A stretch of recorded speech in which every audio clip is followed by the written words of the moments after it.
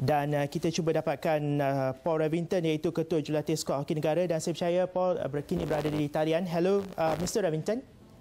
Hello, how are you? Mr. Revington, uh, sorry for your loss, Mr. Revington. And um, I would like to ask, what was the last word that he conveyed to you? Because I believe you met him yes, uh, last night, right?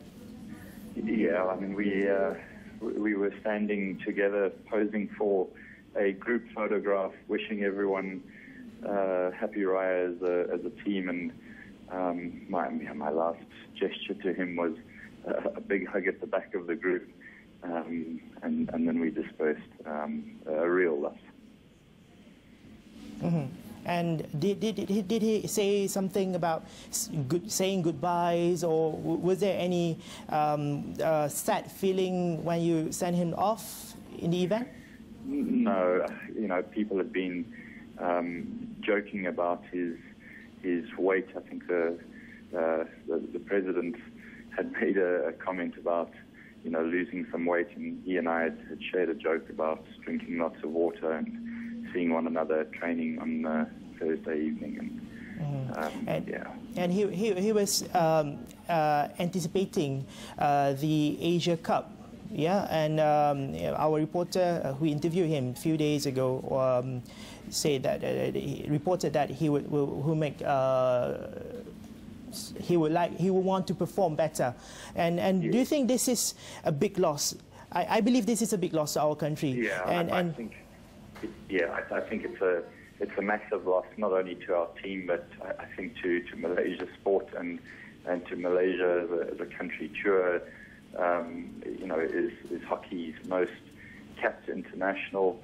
Um, he's been the one that's been around since uh, 1998.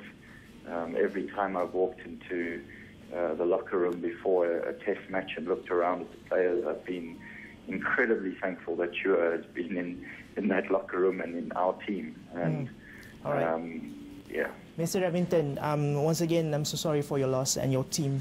Uh, thank you very much for being with us uh, today, Mr. Paul Remington, Ketua Jurulatih Skor Hoki Negara dan turut berada di talian, Datuk Sri Zulkifli Embong, Ketua Pengarah MSN, Datuk, dan uh, menjelang uh, Piala Asia 24 Ogos nanti, Datuk Zulkifli. Zulkifli, Hello Datuk yeah. Zul. Okey, menjelang yeah. Piala Asia uh, 24 Ogos nanti, uh, bagaimana uh, Datuk melihat persiap persiapan Uh, sudah tentu uh, ianya akan uh, menjejaskan uh, kekuatan pasukan uh, bukan setakat uh, Piala Asia saja. Uh, kita bersama dengan uh, Persekutuan Hoki Malaysia memang merancang uh, banyak program uh, untuk melayakkan diri ke kejohanan Piala Dunia dan uh, Sukan Olimpik di Rio pada tahun uh, 2016 nanti. Dan uh, sememangnya mendiang uh, Chua berada dalam perancangan jurulatih. Uh, dan tentunya kehilangan uh, beliau uh, merupakan satu kerugian besar kepada negara uh, kerana beliau merupakan uh, seorang atlet uh, yang begitu berpengalaman uh, pada umur 33 tahun uh, masih lagi merupakan uh, seorang pemain yang yang yang begitu berdisiplin hmm. uh, yang begitu uh, baik terutama dalam D ya untuk sukan hoki. Uh, dan uh, beliau merupakan antara pemain yang paling uh, cergas, uh, the fittest uh, among the the the, okay. the national players.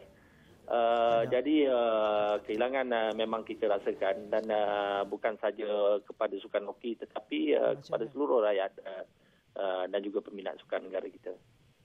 Alright. Datuk, terima kasih banyak Datuk kerana sudi ya, kongsi dengan kami. Sama-sama. Itu tadi Datuk Sri Zulkifli Sembong, Ketua Pengarah Majlis Sukan Negara.